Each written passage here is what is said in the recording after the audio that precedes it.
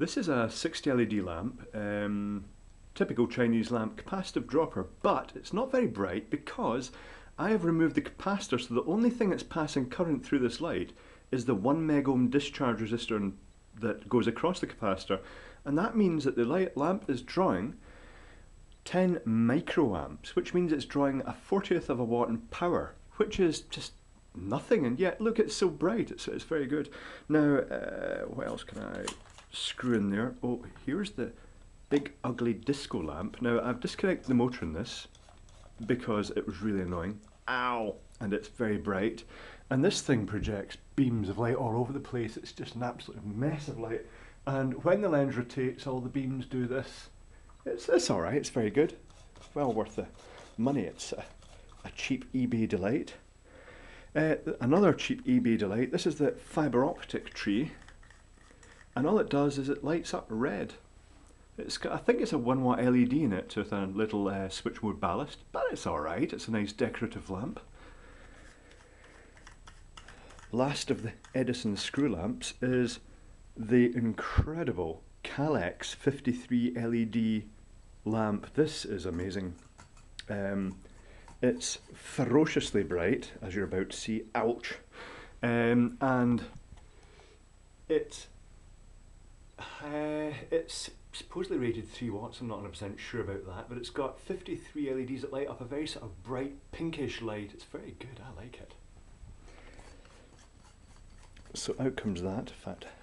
Uh, its little brother, the candle lamp version, is also quite bright. It's not got as many LEDs in it and it's a small, it's got an adapter on the bottom because it's small Edison screw and this is a bayonet cap holder. This is a candle bridge type neon flicker flame lamp that I have modified. I've put a bayonet cap lamp holder in the bottom which is the type of lamp holder we use in the UK and I've also added a 10 oh sorry, a 100 nanofarad capacitor inside because in the UK these lamps get very hot in the base because the resistor is used to limit the current in the actual base of the lamp and, and it tends to burn out. So by adding a 100 nanofarad capacitor it still uh, lights plentifully bright but uh, reduces the dissipation greatly. There's also a 1 megohm resistor across that capacitor just to discharge it so you don't get little nip off the base. Uh, on the subject of lights, now this was an experimental lamp. I thought, well, let's make it just a little ornamental lamp and I'll make it pretty small. And it's is it about 12 LEDs I've got in here? Um, 12 LEDs um, and a little capacitive dropper. I think it's based on 100 nanofarad again. And it's just a wee scattering of LEDs. Quite nice, quite attractive. And I thought, well, what if, what if I put little Molex connectors in the end so you could plug LEDs into it and I made another one with lights around the, the side as well, I'll show you this. Oh, that's actually a bit ferocious. You'll see a slight pattern in the camera probably because these are running on unsmoothed uh, DC output so that there tends to be a wee bit of flicker. But um, it's not visible to the human eye and this you can just pull these LEDs out and change them, although it's not recommended while the power's on because it's a main drive power supply and you could get a shock theoretically, but you know, I don't care. I, you know. So that's that one. Um, and then I thought, well, what else can I make? And uh, I got some uh, of the LED olive lamps, hacked them, put a Molex connector inside. You can pop these caps open and you can change the LEDs again. But I found that warm white and all of them gave a really nice retro look. It looks all sort of sepia and pastely. It's really attractive. I should add that power consumption of all these strings, all these thick lights I've just plugged in there, is round about one watt or less. So anyway, then I got a bit greedier and I thought, oh yeah, that's that's a bit ferocious. That's splattering light all over the walls because these are uh, lensed lights. The other ones are using the side emitting LEDs because um, uh, I just like the side emitting LEDs. They're they're they're visible from a wider angle. But this, I, I'm not even sure how many LEDs are in this. But again, you can just change them to whatever LEDs you want.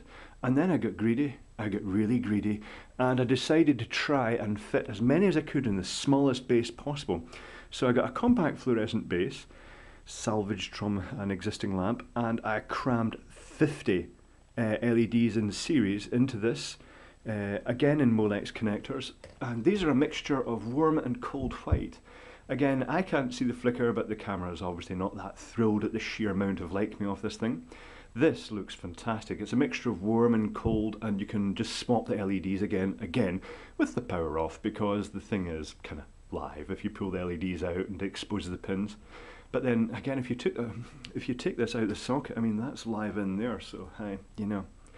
Anyway, other things that light up. This is a traditional style fibre optic Christmas tree type light thing, but it used to have a tungsten halogen lamp underneath it, but I modified it. I took the tungsten halogen lamp and the colour wheel out and I put in a capacitive dropper again and 24 LEDs, are a mixture of red and yellow. So you get a, a mixture of yellow tips and orange tips and red tips. The whole thing is just a blaze. It's very bright and it draws again about one watt. Lots of solar lighting. All these spheres down here and this spiral here, each of them runs off a two inch square solar panel and batteries. This whole window's lit up by solar power. It's kind of nice. Now this this string of LED fairy lights actually started off as a set of tungsten fairy lights, but I modified it. I took the um, push-in type lamps out, I removed the glass filament lamps from them, and I put LEDs in instead. Uh, put them on the correct polarity all the way around, and then made a power supply, a very small power supply. I shall show you it. I'll just uh, pop the light on so you can see it. There's a power supply here which is a bridge rectifier and four 10k resistors, one soldered to each lead, and then the whole lot potted in resin. And that means that these LEDs here are running at about 3 milliamps each, and the power consumption is again just under a watt. Yep, uh, so that's uh, just a few of my LED things. Yep.